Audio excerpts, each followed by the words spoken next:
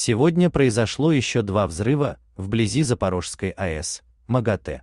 В четверг, 29 сентября, возле Запорожской АЭС произошло еще два взрыва. Об этом сообщает РБК Украина со ссылкой на отчет МАГАТЭ. Сегодня присутствующие на Запорожской АЭС в Украине эксперты МАГАТЭ были проинформированы о еще двух взрывах мин за пределами ограждения станции, говорится в сообщении. Общее количество взрывов на этой неделе достигло уже пяти. Серьезных повреждений нет, однако. Текст озвучен с помощью Яндекс SpeechKit. Будет проведено расследование, добавили в МАГАТЭ.